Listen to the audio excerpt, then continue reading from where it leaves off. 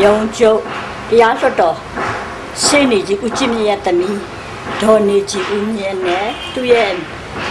ခင်မောအောင်ထုံးဦးတို့ဟာ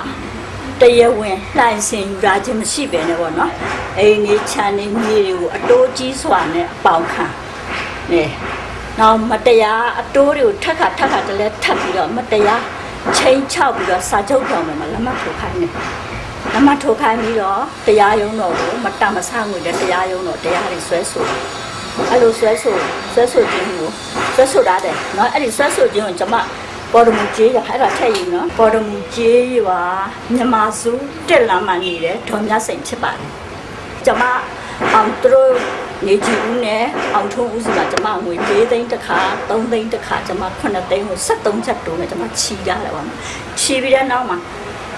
တိုးတွေပေးသွားတယ်ရက်လေးနည်းနည်းလို့ရင်73ချက်တိုးကနေ20တိုးတိကျွန်မထပ်ပေးရတယ်ဒါပေမဲ့ကျွန်မမပေးနိုင်တဲ့နှစ်လလေးမှာသူ့အိမ်မှာကျွန်မချိန်ချောက်ပြီးတော့စာချုပ်ဖြောင်းပေါ်မှာလက်မှတ်ထိုးခိုင်းတယ်ကျွန်မကတော့လေသူ့အိမ်ပေါ်မှာလည်းချစ်တဲ့အတွက်ကြောင့်မိခင်ကြီးလည်းမိခင်အိုကြီးကလည်းမသိဘဲနဲ့လှုပ်ထားတဲ့အတွက်ကြောင့်ရက်ကွက်တော်မှာဆက်တူပဲကျိုးနေတွေနဲ့အော်ကြီးဟစ်ကျဲတွေသူတို့ကရဲတွေနဲ့ဒါပိတ်မယ်ပါမယ်ပြောတော့ကြောက်ပြီးတော့ကျွန်မကစာချုပ်ဖြောင်းမှာလည်းမထိုးပြလိုက်တယ်ထိုးပြီးပြီးချင်းမဲ့ကျွန်မ အားကိုးစရာစဉ်းစားပြီးတော့ပေါ်မှုကြီးရွာမှာကျွန်မကထားပေါ်မှုကြီးရွာဥက္ကဋ္ဌကျွန်မကျွန်မတို့လိုမျိုးလက်မှတ်ထိုးခဲ့စာချုပ်ပြောင်းပေါ်မှာလက်မှတ်ထိုးပေးရပါတယ်ဆိုတဲ့အကြောင်းလည်းကျွန်မတိုင်ချက်လောက်ဖွင့်လာပါတယ်အဲ့ဒါကိုမကြောက်ဘူးတလားလောက်နေတော့ကျွန်မကို390နဲ့ဒီအိမ်ဒီချံကိုသူတို့အပြည့်အပိုင်ဝယ်လာပြီးပါပြီဆိုတော့တရားဆွဲဆိုတယ်အဲ့လိုတရားဆွဲတဲ့ခါကျတော့ကျွန်တော်တို့အမှုဖြစ်တာပေါ့အမှုဖြစ်တော့ကျွန်မအမှန်တကယ် 390မယူဘူး9သိန်းပဲယူလာတာကိုလည်းပေါ်လွင်တယ်ဒါပေမဲ့ကျမကတရားရုံးတော့အရာဆိုကျမမနိုင်ပြန်ဆုံးသွားတယ်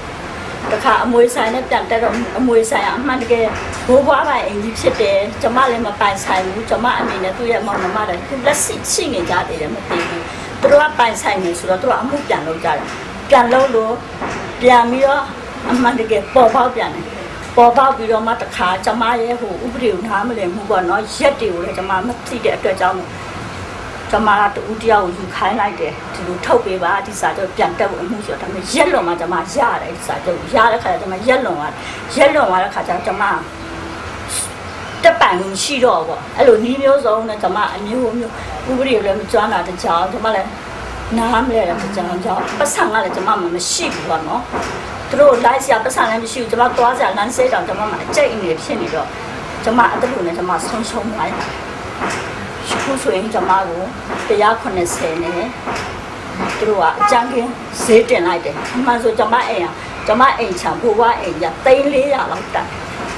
ဒါကို190နဲ့သူတို့ကဈေးဖြတ်ပြီးတော့တလားတစ်ခါမောင်းလာကြည့်တယ်တမောင်းလာတစ်ခါလာတင်း30ရော့မောင်းလာတစ်ခါတင်း30ရော့ပါတယ်နီးတူ လေး30ရော့ပါတယ်သူဆိုကျမကိုဂျွန်လာ၄ရက်နေ့မှာ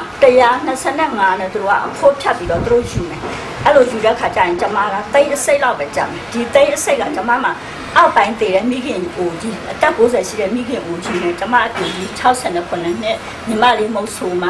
ယောက်ျားသားမရှိတဲ့အိမ်မှာစုကဒီပတ်စံတိတ်အစိတ်နဲ့ကျမတို့ကဗမာနေလို့ဗမာစားရမှာမသိတဲ့ဘဝရောက်နေတဲ့အတွက်ကြောင့်မို့ကျမကတိုင်ကြားရခြင်းဖြစ်ပါတယ်ကျမနီးတူတထုံမျိုးမှာ9သိန်းချီပြီးတော့သိန်း300ဖြစ်နေတဲ့ဘာများများတန်ဆိုတာကျမနီးတူမကြဘူးဒီလိုမျိုးဘဝတူဖြစ်မယ်အဲ့ဒီကျမတို့ရဲ့ရှေ့မှာဖြစ်ခဲ့တဲ့လူတွေက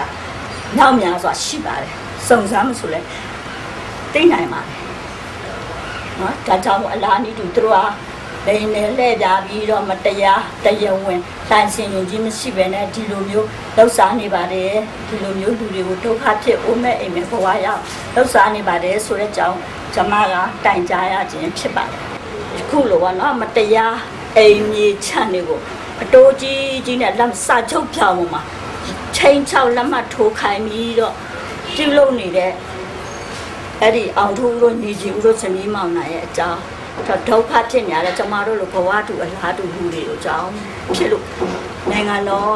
အကြီးအကဲများနဲ့တကွအနေအောင်ဆန်းစုကြည်တို့အထက်အဖွဲ့အစည်းအားလုံးကိုကျမကပါတော့အတနာခံတင်ပြရခြင်းဖြစ်ပါတယ်